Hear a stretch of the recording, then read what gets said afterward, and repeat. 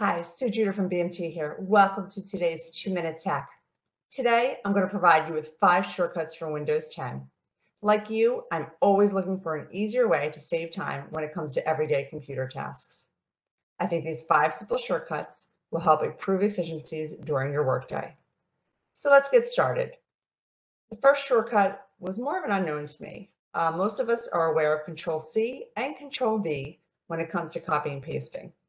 When you click Control Shift V, this will paste the contents of a clipboard as text only. This is particularly helpful for copying and pasting passwords. The next shortcut, which is one of my personal favorites, is locking your device. Uh, keeping your computer locked when you walk away for lunch or bathroom break is so important from a security standpoint. When you hit Windows and the L letter L key, it will lock your computer, protecting it until you return. Next up is the Windows key plus the letter X. This shortcut provides quick access to your computer settings. You can view your PC settings, close an unresponsive program via the Task Manager, or simply log off for the day.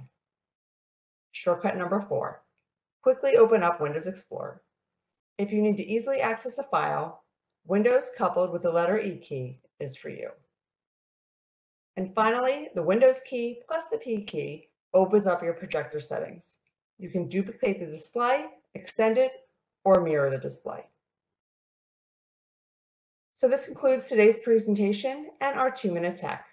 We hope that you can incorporate some of these shortcuts to save time during your workday. Thank you again for joining us. Please feel free to like our channel or visit us at bmtcorp.com. Thank you.